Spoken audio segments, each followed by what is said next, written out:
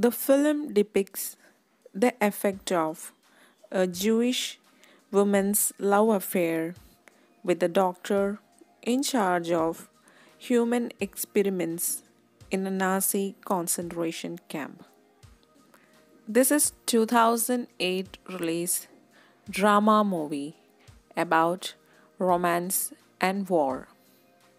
And the movie is titled as Death in Love.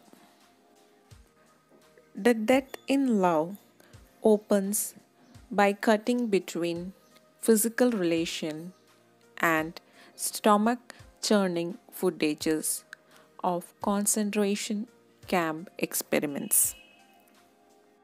In 1940s, Nazi Germany, a young Jewish woman named Jacqueline in a Nazi concentration camp saves her own life by giving herself the young doctor who performs medical experiments on prisoners.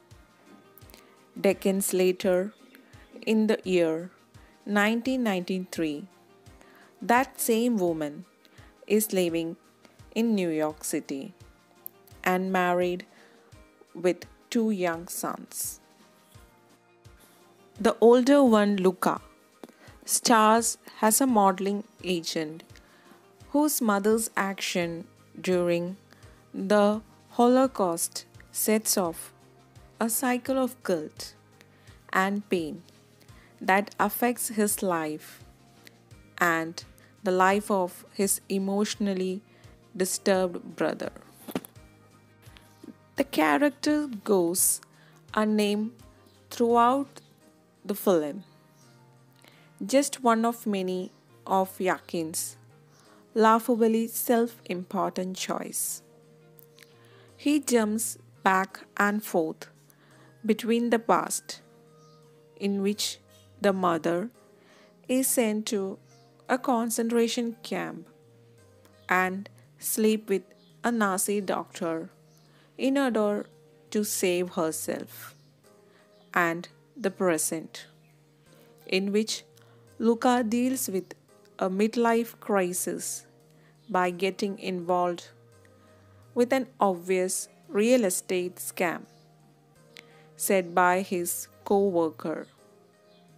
And Bisset's Nazi's lover comes to New York for a visit.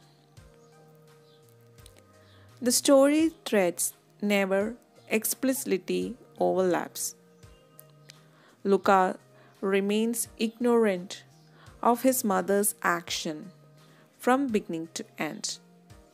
But that doesn't stop Yakin from posing an almost mystical connection between them. The two siblings have developed differently under a mother with a long history of erratic behavior. The neurotic younger son can't cope at all, for he still lives at home with his mother and father and is locked in a compulsive, codependent relationship with the mother. The older son Luca copes too well. The film tells a story held secret by most people who write about the Holocaust, which is the crippling effect of the survivors' war experiences on their children.